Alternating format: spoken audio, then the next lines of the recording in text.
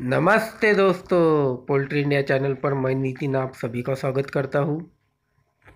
आज के वीडियो में हम आपको बताएँगे कि बॉयलर बर्ड्स की लिफ्टिंग कैसे की जाती है। आज हमारा लिफ्टिंग का दिन है, करके आप देख सकते हैं कि हमने शेड में कई पूरी रोशनी बंद कर दी है, सिर्फ़ बाहर एक एलईडी की रोशनी चालू है, ताकि बर्ड्स पकड़ने में आसानी हो। ये देखिए आपको वेट मशीन और उसके नीचे टंगा हुआ जाला दिख रहा है दोस्तों। हमें बर्ड्स को उठा के लाना है और इस जाले में डालना है। यहाँ तक हमारी ज़िम्मेदारी, फिर वो जाले से बर्ड उठा के गाड़ी में भरना, ये गाड़ी वाले की ज़िम्मेदारी रहती है दोस्तों। अभी हमारे शेड पे गाड़ी लगने वाला है और हम पूरे कांटे शुरू से लेकर एंड तक यहाँ पे लिखेंगे। ये देखो, गाड़ी आ चुका है।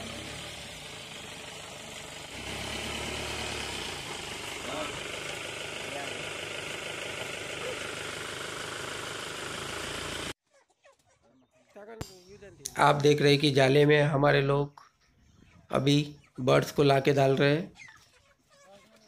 ये देखिए, इन्होंने पंद्रह की क्वांटिटी बोली है। जैसे ही पंद्रह नग पूरे हो जाएँगे, हम वेट मशीन पर जो अंक आएँगा वो देखेंगे। ये देखो, पैंतीस, तीन सौ अंक आया है। ये हो गया काटा। अब वो लोग उठा के गाड़ी में भरेंगे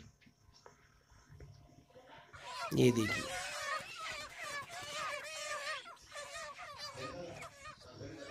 बस सेम यही प्रोसेस है दोस्तों।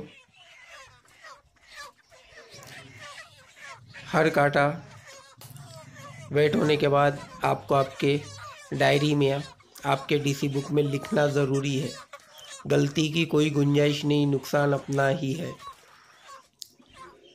बस अब यही सिलसिला पूरी गाड़ी भरने तक चालू रहेगा। ये देखिए, फिर वापस से कांटे में बच्चे डाले। हो गई पूरी क्वांटिटी पंद्रह। फिर से वेट किया जाएगा। ये देखिए इन्होंने छोड़ दिए। काटा रोक दिया गया है और अभी वेट देख लिया चलो, उठाओ। ये फिर से काटा। ये उठ गया पूरा माल।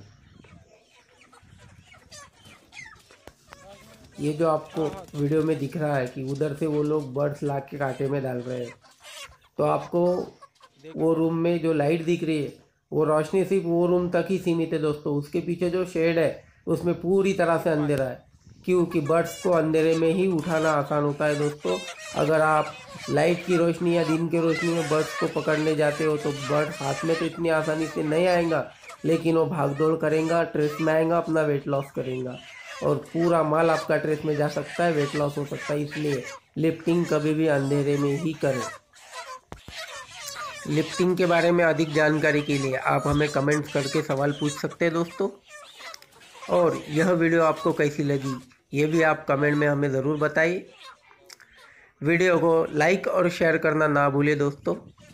आने वाले हमारे अगले वीडियो में हम आपको बताएँगे नई बैच आने के पहले शेड की सफ़ाई कैसे करते हैं, ब्रूडिंग की व्यवस्था कैसी करते हैं, शेड को पूरी तरह से बैक्टीरिया मुक्त कैसे किया जाता है, उसके लिए क्या करना पड़ता है यह सभी बातें हम आपको आने वाले वीडियो में बताएँगे।